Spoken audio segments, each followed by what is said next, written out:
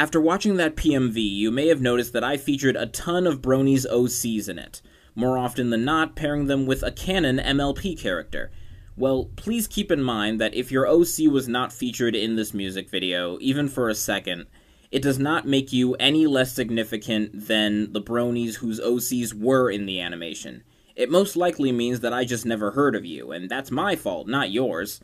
And besides, I left out a bunch of canon characters as well that I'm sure a lot of people wanted to see in this animation. For example, I'm here with Flash Sentry, one of Celestia's royal guards and a huge part of the first Equestria girls.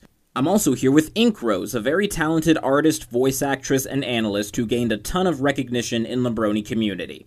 Now, Ink Rose, Hmm? are you okay with me not featuring you in this animation because I honestly had no idea who you were until after I finished animating it? Of course I'm okay with that. I enjoyed the music video regardless. Thank you, and I'm glad you understand.